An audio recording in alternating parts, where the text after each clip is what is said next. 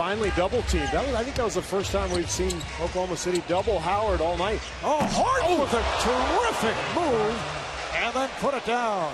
He was not going to let him block that no. one by trying to get it over the top of him. He threw it right down.